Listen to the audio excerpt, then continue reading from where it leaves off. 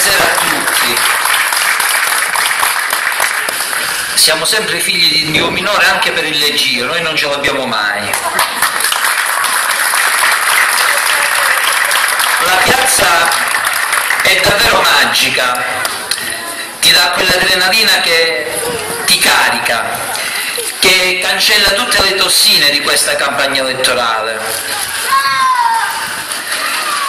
le tossine di questa campagna elettorale, lo voglio ripetere, mi sento stanco per due motivi. Uno perché la mattina lavoro, due perché la sera non dormiamo, non mi stanca la politica, la farei tutti i giorni.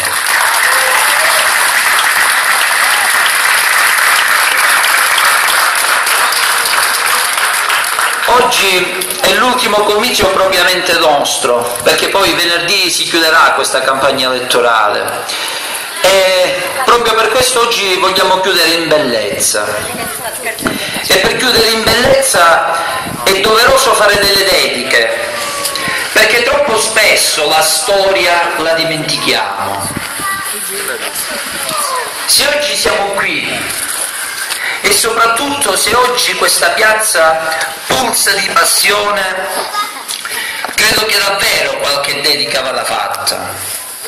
Permettetemi di iniziare da Cece Perricelli.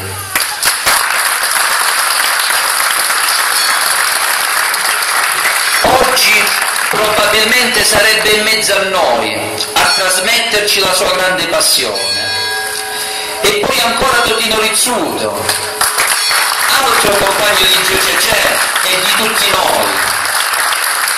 Noi lo ricordiamo sempre con piacere. Lasciatemi poi ricordare il professore Fausto, che tanto ha dato a questo paese. Lasciatemi ancora dedicare questa serata all'avvocato Bruno,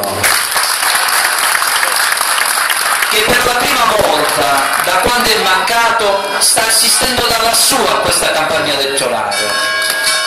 Questi nostri cari compaesani e la storia, la loro storia che poi è la nostra storia, li dobbiamo sempre portare nel cuore, perché tra scontri accesi e non hanno dato tanto soprattutto hanno lasciato un grande esempio di rispetto.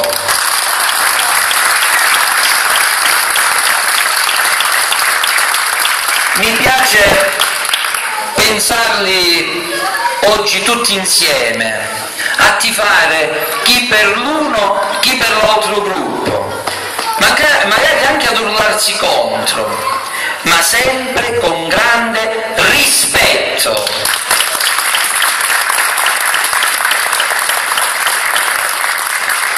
Vorrei poi ricordare chi la cultura intesa come istruzione, esperienze, nel nostro paese l'ha fatta per anni, il professore Merante e il professore Giulio. La loro era una società diversa, dove si coniugava l'impegno e la passione, ma dove non mancava il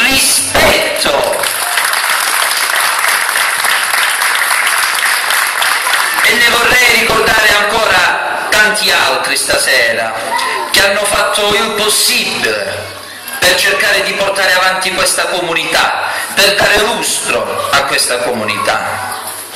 A loro bisognerebbe ogni tanto pensare e ripartire, anzi rinascere. Allora, allora come oggi Sapete cos'è la cultura? Scrivetela come volete, con la C o con la K. È quella che proviene dal cuore. La cultura non è un titolo di studio. John Dewey, un grande pedagogista americano, diceva che la migliore istruzione è la vita io ne sono convinto scarpe grosse e cervello fino, dice un vecchio adagio popolare.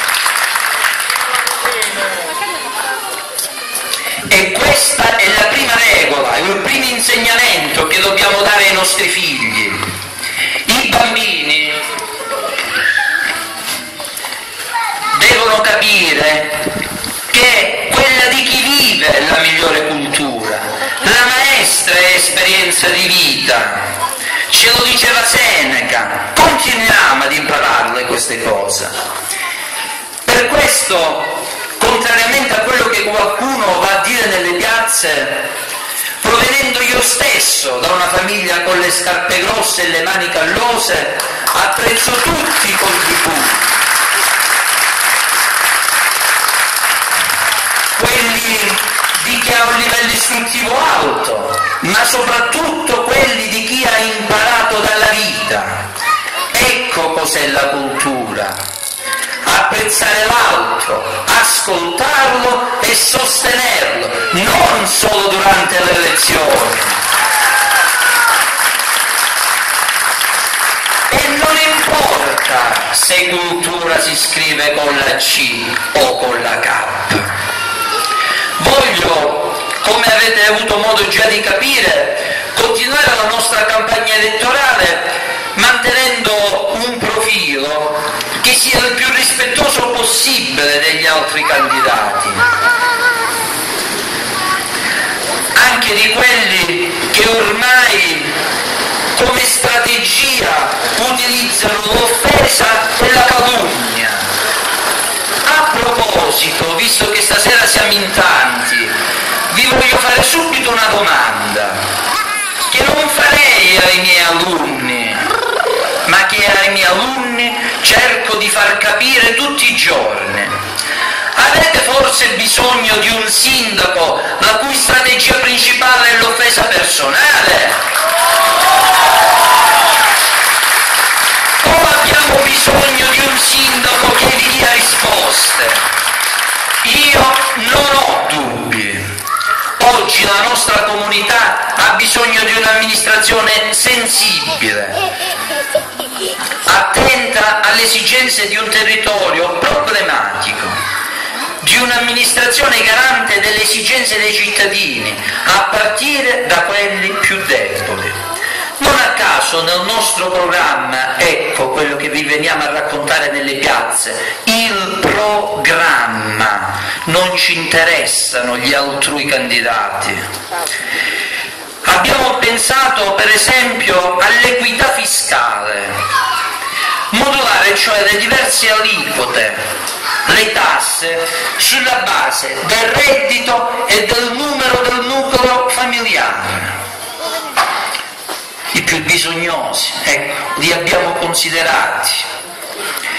Proprio per i più bisognosi abbiamo pensato ad un fondo di solidarietà da cui attingere anche poche centinaia di euro per supportare quando ne hanno bisogno ma non ci siamo dimenticati nemmeno dei disoccupati. Quando qualcuno si è preso la briga anche di andare a contare i punti del programma, sono arrivati a 70 Prima ci dicevano che non avevamo un programma, adesso ci dicono che il programma è corposo. Io dico il programma è funzionale alle esigenze di questo territorio, perché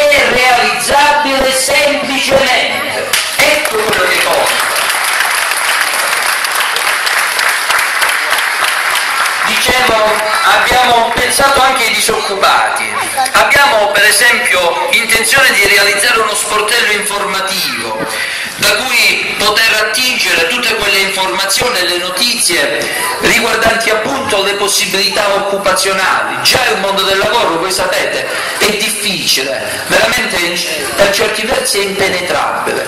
Se noi riuscissimo a creare le condizioni per informare, almeno per informare, io credo che già la domanda e la richiesta potrebbero avere un normale punto d'incontro e non credo che questo sia straordinario. Abbiamo pensato pure di promuovere dei voucher lavorativi, e di creare un incubatore per le piccole imprese, per sostenere l'iniziativa privata e per dare slancio all'economia del nostro territorio. Se siamo qui è proprio per questo. se oggi non avessimo problemi, forse non ci sarebbero quattro liste. E forse non ci sarebbero nemmeno tante spaccature. Vogliamo per esempio parlare di divisioni e di pacificazione? Quattro gruppi, e ce lo dite pure voi quando veniamo a trovarvi nelle case, sono davvero tanti, ma in una democrazia è legittimo che ciò accade, ognuno legittimamente può ambire ad essere l'amministrazione del domani e il sindaco del domani. C'è per esempio in maniera direi simpatica, tra virgolette, poi ne parliamo dopo, metti in evidenza la spaccatura del PD. Vero. Noi non ci nascondiamo dietro un dito, ma a me pare, sempre che sono stato attento, che ci sono pure due gruppi che contano assessori uscenti, ex assessori e addirittura componenti della minoranza. Cosa significa questo? Semplicemente che negli ultimi anni ci sono stati molti elementi di conflittualità politica e personale, di cui certo non sono stato io il protagonista. Io arrivo oggi, questi problemi ce li portiamo dal passato. E non dimentichiamoci poi che il candidato a sindaco per la lista numero 2 è l'ex collaboratore del sindaco.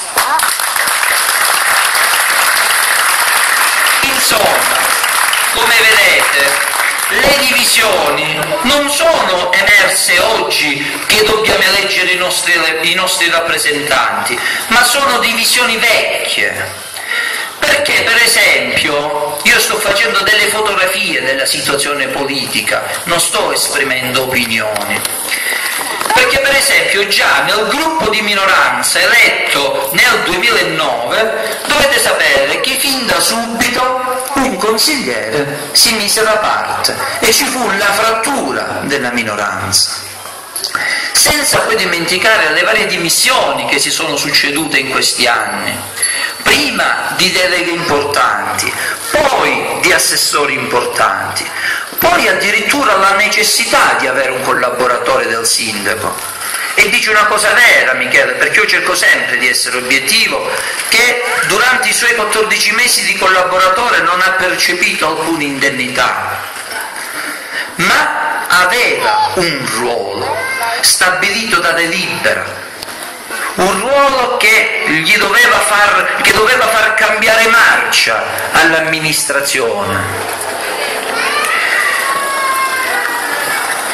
E poi anche le dimissioni del collaboratore del sindaco, quindi vedete una serie di dimissioni hanno caratterizzato questi anni. Questo, dicevo, è una fotografia perfetta di quello che è accaduto in questi anni. E addirittura se qualcuno di voi avesse partecipato agli ultimi consigli comunali avrebbe potuto vedere le difficoltà della nostra maggioranza io dicevo l'altra sera, una maggioranza che è stata eletta con il massimo storico di differenza, 270 voti, eppure siamo arrivati all'approvazione di due documenti fondamentali come il piano strutturale e come il bilancio con numeri risicati, non certamente per colpa mia.